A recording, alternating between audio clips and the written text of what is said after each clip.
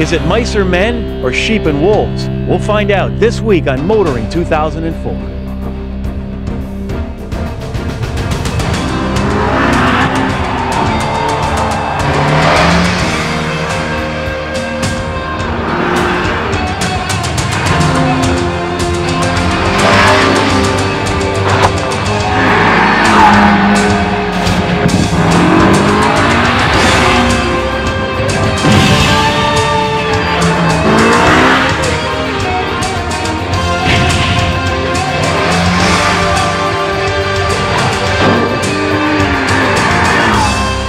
TSN's Motoring 2004 is brought to you by Quaker State Motor Oil.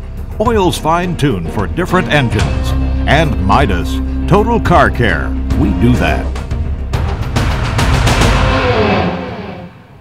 You know, whenever you mention the name Honda to a nuts and bolts guy like our Bill Gardner, he usually describes the vehicles, especially the engines, as being bulletproof, very few problems. Design, well, that's another matter. But you know, it's been quality and affordability that has proven so successful for this company. But in 1986, Honda saw dollar signs in the luxury segment, and with Acura became the first Japanese car maker to launch a luxury division. Like Honda, quality was not an issue, but design was once again bland.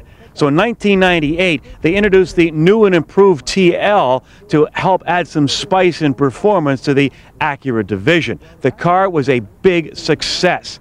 But now we've got a lot more competition, especially from vehicles like the Infiniti G35, and Acura sales have been on a bit of a slide. So this week, we're on the West Coast to check out the 2004 TL, a car that Acura promises will shed an image it admits as being one of a wolf in sheep's clothing. I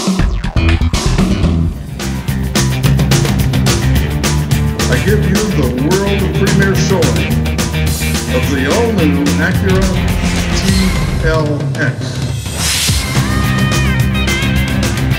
Well, if we go back five years, it's interesting to look when we launched the current TL in 1998. The luxury market in Canada was about 56,000 units. Last year, full year, was about 80,000. It's grown about 42%. But there's been an increase in the number of competitors as well. I think uh, what they're trying to do now is to perhaps regain some of that uh, early uh, early position and momentum that they had, and focus uh, focus on their technology and really kind of jazz the cars up a bit to make them uh, make them more appealing and get people to notice them again. TL uh, historically has been an important car for us. It's sold over 25,000 units in its current generation, accounting for about 20% of our, of our overall business. It really is what signifies Acura on the road. So with this car, we're looking to appeal to the emotional side of a, a person's buying decision. So for the new car, we thought we're going to attack the style front and uh, really juice it up and make a sporty, uh, compact looking, and yet big on the inside uh, uh daily driver that uh, every enthusiast would want to own. They know that the quality, the dependability, the reliability that Acura stands for is all going to be there. We really want to get an emotional attachment to the product, and that's what we're trying to do with this TL. The outgoing Type S, although uh, a rocket uh, in a straight line, didn't really handle and brake like we uh, we knew it could. So we, we took out uh, in the beginning with a plan to uh, to improve uh, braking and handling more so than focusing on just more acceleration. We've raised the uh, capabilities significantly uh, by uh, all the magazine type numbers that, that it'll post. It's going to beat all the competition out there. 270 horsepower, a little more uh, torque as well, and smoother, and uh, it holds on longer out toward the end of the uh, the power curve, so it feels like it pulls forever. Uh, the braking and handling, uh, much shorter stopping distance, best in class. Uh, road holding in terms of max lateral G and slalom speeds and so on, best in class as well. Acura is coming from behind a little bit. They've always been a good car, but they've never been seen as a true sports car with passion and fire. And that's what they've got to put in the car. And the new TL goes a long ways to putting that back in. I had to go over a hill to get the suspension fully unloaded and then accelerate hard on the way back down to the suspension loading before I could even figure out that it was just a front wheel drive car. It performed so well, it was just like any other rear wheel drive car that I've driven in a long time. I think the TL is really uh, really worth a look. You know, um, the the guys at Acura say that they want to they want uh, something that will compete with the 5 Series BMW and the E-Class Mercedes, and uh, without having to pay the money for that. And uh, and you know, this car has uh, has all the features that you'd want, plus some you don't expect. The DVD audio system is terrific. It's just mind blowing, and uh, you know, there's a good place to start when you're talking about the car. You know, this one is going to start turning heads. They've got a body kit out now They've got accessories, but even in its basic shape, it's really, for Acura, edgy. It's going to turn heads. It's going to turn things around a bit. This is going to get us going. It's going to get us going back in a positive direction. But hey, listen, let's not to say things are that bad as they are. Acura division has grown from, uh, you know, selling just a few thousand cars when we started. The last two years, we've done over 25,000 each of those past two years. We're going to challenge that result again this year. It's been a little tough, but we think with the TL that we're going to surpass that level and uh, continue to grow.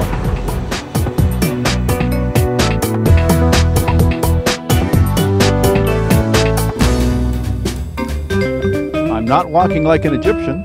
Can you guess? More later on Kenzie's Corner.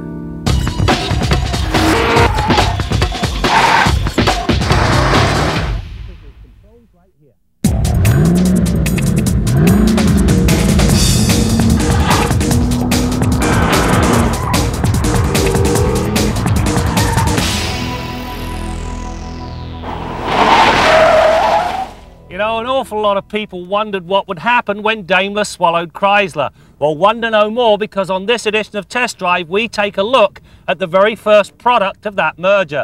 This is the all-new Chrysler Crossfire. The Chrysler Crossfire was developed in just 24 months. A year after the idea was hatched, the concept version of the car was revealed at the 2001 North American International Auto Show in Detroit. Another year later, well, the wraps were pulled off the production vehicle. Now that time frame is short, and it is so for good reason.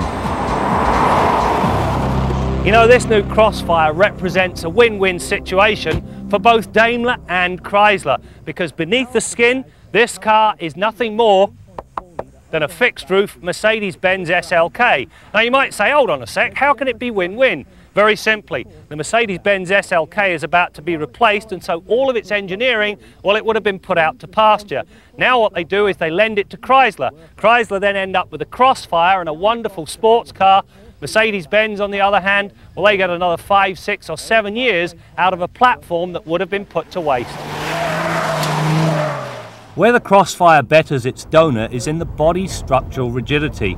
The fixed roof makes for a much tighter platform and a healthy place for the suspension to hang its hat. As you might expect, most, if not all, of the mechanicals came from the Merc side of Daimler Chrysler. In the suspension's case, this means a double wishbone design up front, a five-link system in back and anti-roll bars at both ends.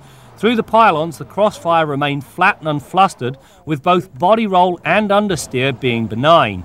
The crisp turn-in afforded by the steering and meaty 225-40 ZR18 front and 255-35 ZR19 rear tyres really do help the cause. Bonus marks for the suspension, however, as there's enough compliance built in, so the ride is actually pretty good. Climb behind the wheel of the Crossfire and well, you'll find everything you expect to find in a $50,000 sports car. To begin with, the seats are fabulous. They keep you planted when you're herring round the corner, but don't feel confining when you're cruising down the highway.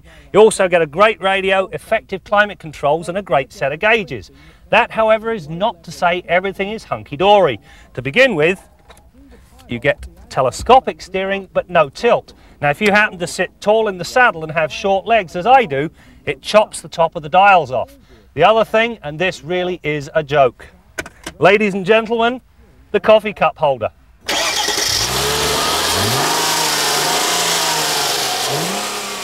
A stout 3.2 litre engine that pumps out 215 horsepower and 229 pounds-feet of torque drives the rear wheels.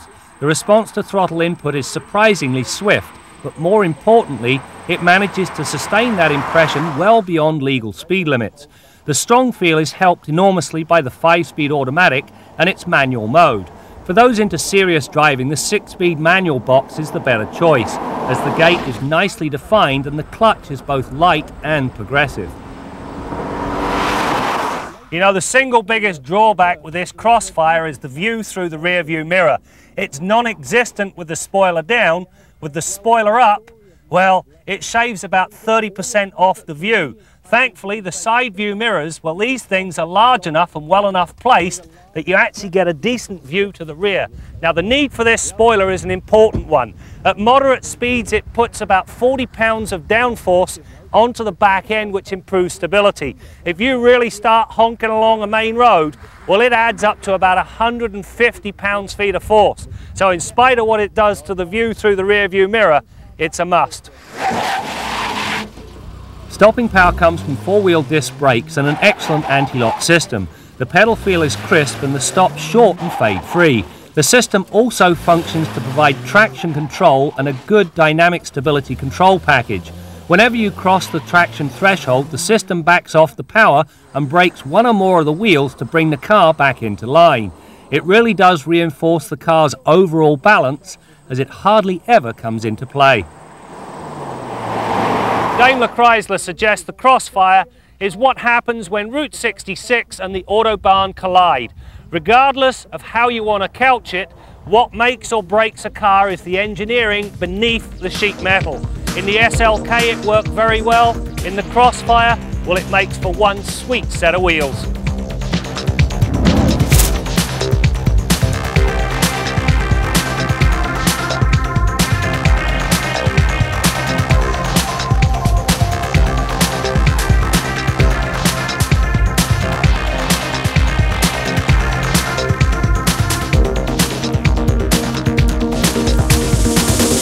Our Midas tip of the week concerns improving your fuel economy.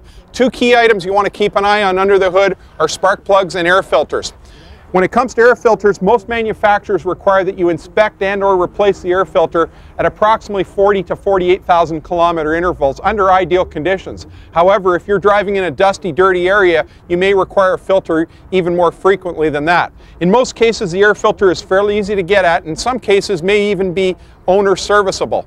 So have a look at your air filter or have your technician look at it. If it's restricted, it's going to hurt the power of your engine and you'll find that putting in a clean replacement air filter may give you more pep with less throttle opening and that'll translate into better fuel mileage. Make sure that you get a quality, proper fitting air filter from a reputable manufacturer. When it comes to spark plugs, most modern vehicles have platinum tipped spark plugs that could last as long as 160,000 kilometers. Check your owner's manual to see what type of spark plugs you've got, and if you're in any doubt, have them removed for inspection. Now here's a set of spark plugs that I had to replace in one of my own vehicles just a few weeks ago. I had to replace them to get it through an emission test, but I had the secondary benefit I noticed afterwards. It passed the emission test, but I had better fuel mileage as well. That's your Midas tip of the week.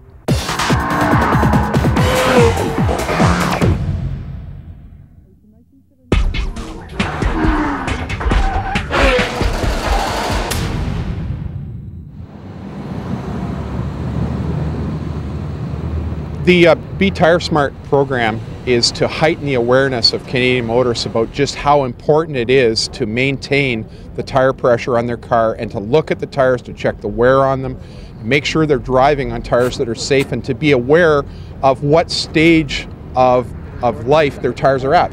So this is uh, an excellent program to uh, just heighten the awareness of uh, how important tires are and how simple it is to maintain them as well. But by and large, uh, tire pressure is usually adjusted for free, and that's probably the last frontier of anything free in the automotive business. We uh, conducted the market research uh, last January, February, uh, where we went out across Canada with engineering students from uh, six universities in Canada, and we intercepted consumers at gas stations and service stations, and we had a about a five ten minute interview with them about the whole topic of proper tire inflation, and we had two engineering students taking down the actual physical information, and that gave us incredibly accurate results. We ended up with about 1,800 consumers. There's never been a study anywhere in the world this big looking at this particular issue. 70% of the vehicles had at least one tire over or and or under inflated by at least 10%, and there's about 40% had it at least over or under inflated by at least 20%. A 20% under or overinflated tire is actually very dangerous. Collectively, you look at of all the underinflated tires, the, the extra gasoline that's used, it amounts to over 600 million liters a year, and that results in a million and a half tons of carbon dioxide every year. That's just the extra caused by poorly inflated tires. That's why we've come at this uh, as an important part of the Government of Canada's drive to improve the fuel efficiency of cars.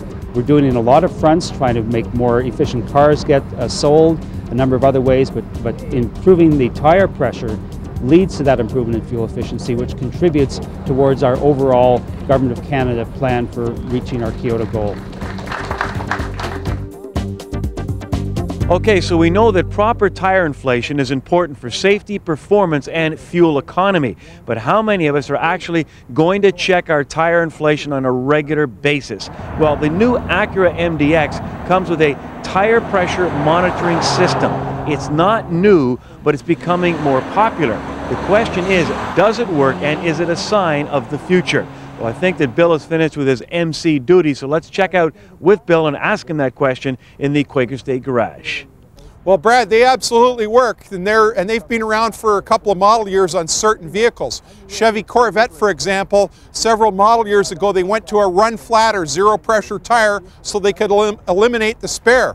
The problem with a run flat tire is the carcass of the tire is so robust, so heavy that you can have a completely flat tire, no air pressure in a tire, and you don't know it. It doesn't look flat, doesn't even look underinflated because it's such a strong carcass. So you have to be able to notify or alert the driver of the vehicle to the fact that he or she has a zero pressure or flat tire in that vehicle. So hence the tire pressure monitoring system. On the Corvette, what they do is they mount a sensor. This wheel's off a Pontiac Grand Prix, but if this was a Corvette wheel, just inboard of this valve stem hole, there would be a sensor mounted in the wheel that transmits a signal to alert the driver that for example, the tire on this rim was underinflated or zero pressure. Now, the downside to this system is the fact that the sensors themselves are quite expensive, several hundred dollars a piece, and they're very fragile and easy to break if you don't know what you're doing. I was at Johnson and Magwood Tire earlier this summer and I saw a stack of wheels and tires off a Corvette and I didn't see a Corvette in the shop that would match them. Started asking some questions and the boys told me that these tires had been mounted at another shop that didn't realize what how the vehicle was equipped and they had inadvertently or accidentally broken all four sensors on this car. So they had to demount the tires, replace the sensors and remount and rebalance the tires. It was a pretty expensive proposition. So, you know, that just goes to show you if you don't have trained personnel working on a sophisticated vehicle, it can get really expensive. Now, GM has a system that they're already using as well for several model years on some of their other vehicles. Works a little bit differently. I had a Pontiac Grand Am in the other day for work, was in for a tune-up, and when I road tested it, I'd got rid of the mist, but I saw a light on on the dash that indicated an underinflated tire. And what they do on the Grand Am is they look at the input from the anti-lock brake sensors, which are one per wheel as well. And if that wheel speed sensor on one particular wheel is consistently below the value of the other three, the system knows that it's got a tire that has an effectively reduced diameter or is underinflated, and it turns the light on. But it looks at that underinflated tire for a period of time before it turns the light on. The system on the Corvette works immediately. But you know what? It's going to be a lot of years before all the vehicles are equipped with tire, tire pressure monitoring systems. There was talk of it being mandated to kick in in 03, but it's not here yet, and it'll be a lot of years before all those old vehicles that don't have them get off the road. So you're probably looking at another 10, 15, maybe 20 years of having to use the old standby, the tire pressure gauge. Make sure you got one of these, you know how to use it, and you use it regularly. Till next week, I'm Bill Gardner for Motoring 2004.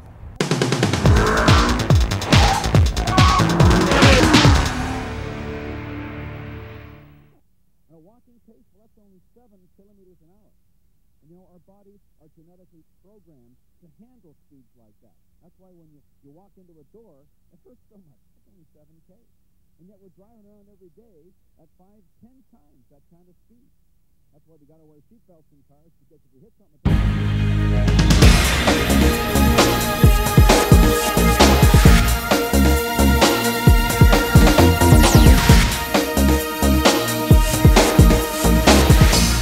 Now, maybe they think they're doctors and, and they can save a life or, maybe they think they're the Incredible Hulk and they can pull a vehicle off a poor crash victim, or maybe they're the crack reporter for a big city newspaper and they think they've got a big scoop. But why do people stop and stare at crash scenes on the highway? For crying out loud, people, get a move on. Brad saw a guy the other day at a crash scene. He's driving along, videotaping the thing while he's driving. What's wrong with these people? Uh, they have some kind of morbid curiosity? They want to see bleeding flesh and crumpled sheet metal? The worst guys, of course, are the folks that are driving along. Hey, Martha, look at that! Boom! And then they have their own crash. Chain reaction. Now, I'm not talking about you motoring viewers. You're way too smart to do that. But what's up with these people? Now, some people, I don't know where they get this idea, think that I have somewhat of a competitive nature. Now, if they've ever seen me race, they know that's not true. But I look at a crash scene, not wishing to profit from someone else's misfortune, it's a chance to get by a bunch of people. I'm over there in the right lane, as usual, and I slide right on by the rubberneckers and beetle on home. Now, of course, if there are any cops in the area, the chances are they're back there. You've got a wide open road. Now, I'm not suggesting for a moment that you break the speed limit, but you might get home just a little bit sooner. So, in the words of that immortal police officer, next time you come across a crash scene, nothing to see here, people, move along, move along. From South Park, I'm Officer Barbrady. Well, after only a day behind the wheel of the 2004 Acura TL, I gotta say that along with the Honda S2000 and the Acura NSX, this is the best performing Honda product I've ever driven. It's that good and it's that much fun to drive. But as we heard earlier, Acura is hoping to regain some sales by adding some sizzle to the styling. Have they accomplished that? Well, I think they are headed in the right direction. But you know, it might have been said best earlier today back at the hotel by the son of a TL owner. He spotted a new model in the parking lot, looked at his dad and said, Hey, dad, the new TL looks a lot like the Mercedes Benz or a BMW. Well, an Acura executive was standing beside me. He overheard the comment and he looked at me and he said, that's good. So there you go. That's it for now. We'll see you next time out as we continue to bring you more stories about cars and the people who drive them. Let's say two pickup trucks. You drive one on a given route and then you immediately switch into another one and drive it on the same route, same conditions. So you get to do a back-to-back -back comparison, which is much more valid when you're trying to compare vehicles. TSN's Motoring 2004 has been brought to you by Quaker State Motor Oil oils fine tuned for different engines, and Midas, Total Car Care. We do that.